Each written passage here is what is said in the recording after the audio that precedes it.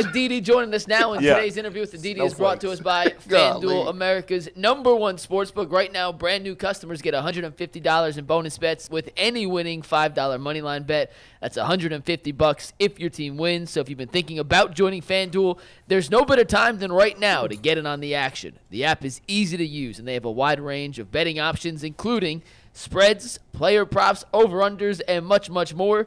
So visit fanduel.com slash UCSS to kick off the NFL season. FanDuel, an official partner of the NFL and an official partner of the Ultimate Cleveland Sports Show. Aditi, how you doing today? Where's she at? Hold on. I got I got a where's she at? Hold on, I got a question.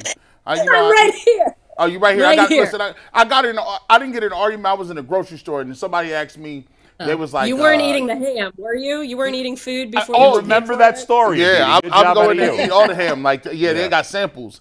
Um, this lady was talking, and she was like, "Yeah, you know, my, my daughter's getting ready to go to a dance or whatever," and she says, uh, I asked her, I said, she's going to a dance. That's cool. She was like, yeah, today's going to be her first day of wearing makeup. And I said, whoa, hey, whoa.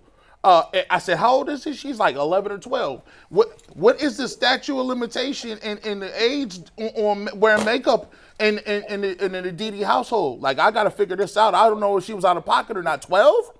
That's early. Uh, You know, uh, well, I feel like that's a special occasion, right? Okay. like, it's a holiday. So there's exemptions. I mean, that's totally different than wearing makeup to school every single day. But if Yeah, that- it's a she's right. dance and you're getting a little lip gloss on and maybe a little blush, like I think that that's acceptable as long as it's not an everyday sort of thing. but Yeah. no, no I mean, full blown smoke. my daughter's only four, so I can't Yeah, yeah, really. yeah, yeah. Let my, da- my daughter loves to play in my makeup. She doesn't Yeah. actually put any of it on. Sometimes I draw her little tattoos with my eyebrow pencils, but uh, she will occasionally take a powder brush and pretend that she's putting sparkles on her face. She's not really, but she pretends. Yeah, by the time I have kids, I'll be too old. not wearing makeup di- preschool? That's not happening. different cultures treat things like this differently, whether it's earrings or makeup or, you know, depending on where you grew up or what religion you are, True. what country That- you're from. No, you know what? And Adam, that's such a good point. My ears were pierced when I was two months old.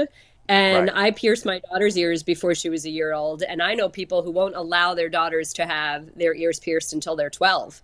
And for mm-hmm. us, culturally in India, you, you know, Right. Indians do pierce their ears early. And I sort of thought of it as, well, she won't really feel the pain when she's a baby. Right. And why not? Didi, my mom tried to put me on punishment. I was 21 when I got my ears pierced. She tried to be like, "You ain't going nowhere." I said, "I'm bigger than you now, dog.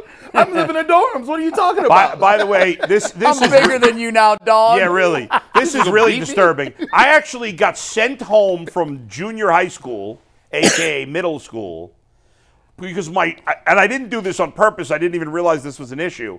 My shorts were apparently too short. Oh, Like I was trying Oh to show my. off my legs. Disgusting. Oh Disgusting. Oh. Well, how dare you? Oh Why? Is that crazy? because things were revealed from the shorts. I mean, like when you sat down, were people able Nothing to look was revealed. They they were just slightly. ab- Here's the crazy thing.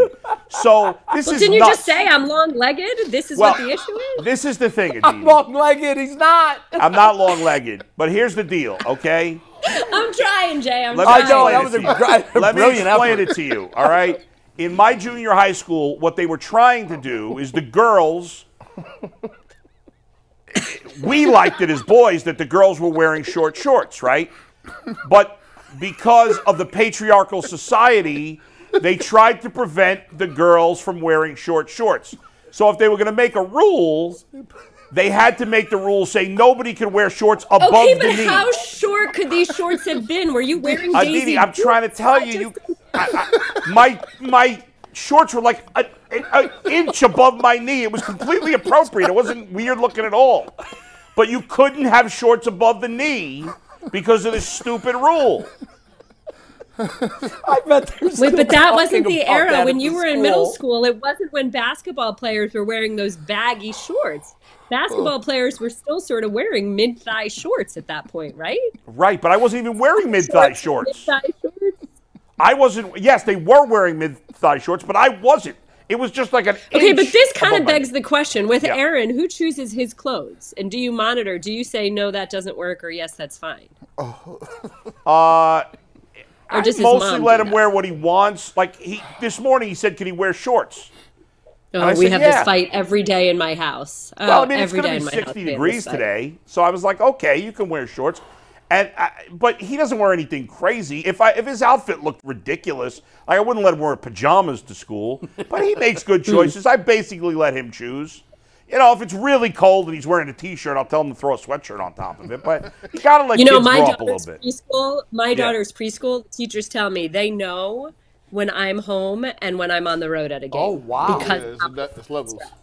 Yeah, my my, Well, my kids' teachers just- would have said the same thing because Dad sends them to school looking a whole lot different than Mom Yeah, did. that's true. Dad, Oh, my, my my gosh, daughter I when she look- was I seven, she would say, "Dad, this doesn't like, go together."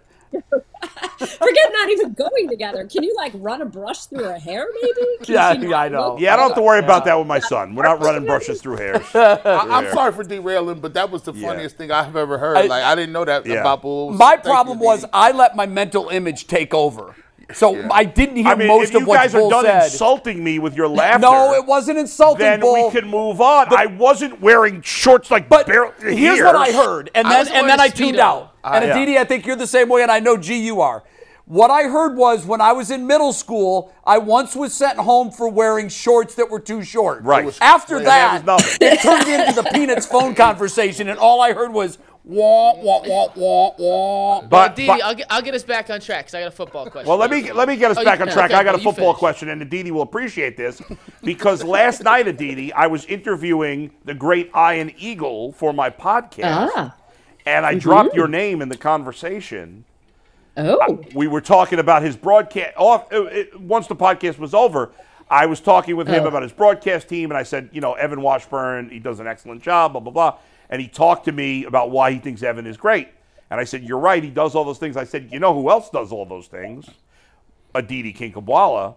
I, I'm, you know, and anyway, he was, he doesn't. I, he told me he doesn't know you personally uh, very He well, doesn't. or if at all, but uh, he he did say to me, I've heard very good things. That's what he said.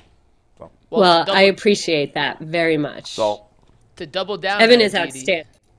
My Well, I'm sorry. What was not that? a, No, to double down on that, my girlfriend's not a big football fan, but she recognizes your voice now. And That's you're her favorite sideline Aw. reporter. So uh. I do have a serious that's a question, though. Serious football question. I was listening to the Zero Well, Blitz appreciate podcast yesterday with Charles Robinson and Jason Fitz.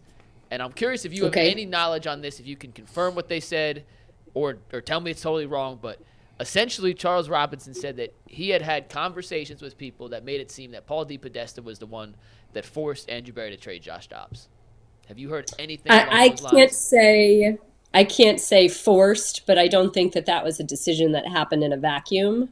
I just feel that this is one of those things that eh, people right now want to look back and it's kind of one of those things like if you knew then what you know now, but how could you do that? And I think that the well, way you did know you at the trade deadline, though, Aditi. Yes, however, Yeah. we do know, I can tell you that Washington was asking for far too high of a price for Jacoby Brissett. And that price has to always be thought about within the parameters of what your roster already is. So I'll give you an example. A year ago, Kareem Hunt wanted more money. The Browns weren't saying that Kareem Hunt wasn't deserving or worthy of more money.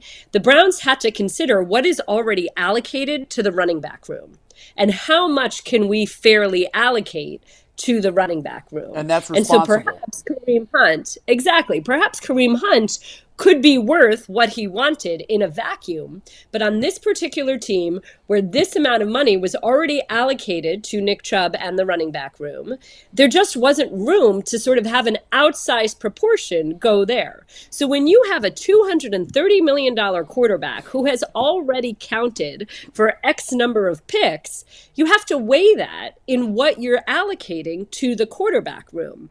And it's very easy for a fan to sit here and say, well, whatever, Washington wanted a third round pick, or Washington wanted a second round pick, or whatever. There's no more important position, or there's whatever, the 20. 20th most important position on your team is your backup quarterback, so just pay it. But that's not how the Browns do business. The Browns have to sit here and think about what's already in the quarterback room. And is it worth it to give up X number of high picks? Not necessarily money, but X number of high picks to put someone in a room that truly you're not expecting to have to play and that you're not having to count on to play. And all the information that they had at that moment was that Deshaun Watson is as tough as they come and that he was on the upswing. You, you can't account for bad luck. Unless But- I guess maybe you want to sit here and say the Browns are known for bad luck, so you should always expect bad luck. But even this situation right here, I mean, can we talk about this? Deshaun Watson played a second half against one of the best defenses in the National Football League, went 14 for 14, climbed out of a two touchdown hole with a broken body. He was completely broken and put together that performance. And then when he heard that his injuries were as bad as they were, he still, his response was, well, just shoot me up and let me get through the season. Right.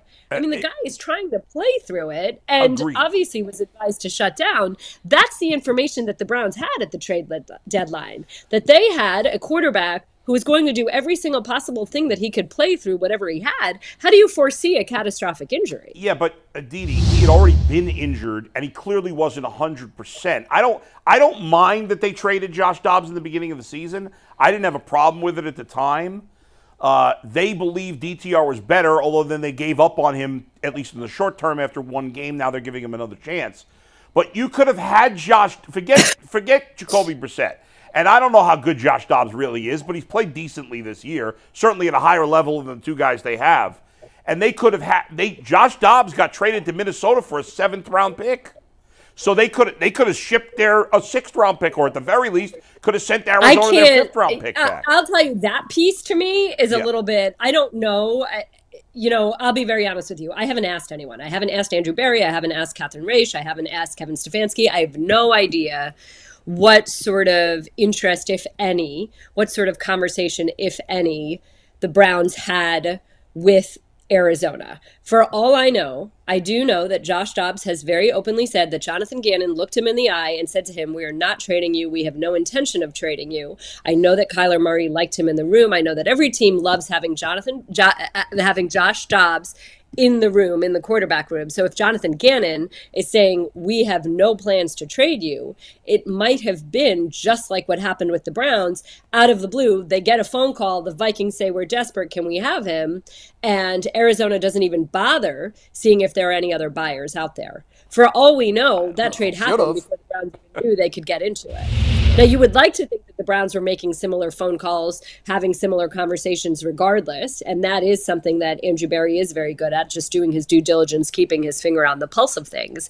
But until I actually know, I don't want to definitively say, oh, they missed the boat on that. That might have happened before they even thought that it was a possibility or explored it being a possibility. Uh, Didi, can um, can the Browns make the playoffs with DTR as starting quarterback? Yes. Uh, that was definitive. I like that. Expound. You know what? The Brown and I said that I said this yesterday. Look, the Browns have a great, great, great championship caliber defense. This is a championship caliber defense. The missing piece that was sort of making me crazy that we all talked about a month ago was turn the ball over, get some turnovers, get some takeaways, score, make some splash plays also. And we've seen them do that. They've been outstanding at that over the course of the last month since that Indianapolis game that I was at. That's huge. They're running the ball really, really well. No Nick Chubb, doesn't really matter. They're running the ball really well. You saw the way they ran the ball on the Ravens. Again, this is not like running the ball on the Cardinals. Running the ball on the Ravens is a major statement. So all you need, this is what I said yesterday, all you need is competency at the quarterback position.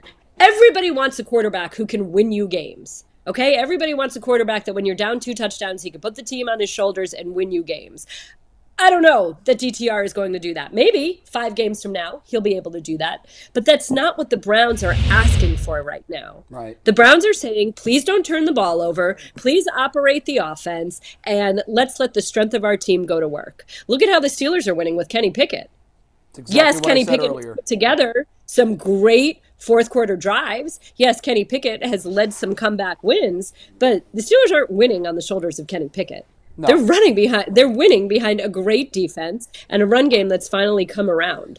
And I really really really believe that Kevin Stefanski having some time to prepare and tailor an offense for DTR will make a huge difference from what you saw in that Ravens game that he played. He had two hours. He had two hours Right. before DTR was going in that game. You hadn't prepped for that. You didn't have a play sheet for that. You hadn't even had the conversation with him. What plays do you like? What plays don't you like? You're jamming all that in in two hours. And let's not forget, when PJ Walker started against the 49ers, even Nick Bosa said they had a great offensive plan for what they were doing. So Yeah. I put trust and faith in Alex Van Pelt and Kevin Stefanski in being able to plot and plan and shape and support DTR better, an offense around DTR better, with a week's preparation as opposed to two hours. Yeah, I, I said exactly the same thing earlier. I think you're right on the money. They've got a week to coach him up, and I, I it's all we have to judge him on right now. I think it's a little unfair. Right. Let's wait until there's more hay in the barn, and I think he's. My, the hope here is there's a progression. I don't think he's going to look great against Pittsburgh. He, as you said, he doesn't need to be. The idea here is with each start, he gains a little more confidence. He looks a little better, and by the time the playoffs roll around, he's then got a half a season under his belt, and he's ready to take this team into the next stage of the season. Right. And I think, you know, another thing here, and I've said this before, I've been around the Browns for what, thir- 14 years now. 14 years I've been around the Browns.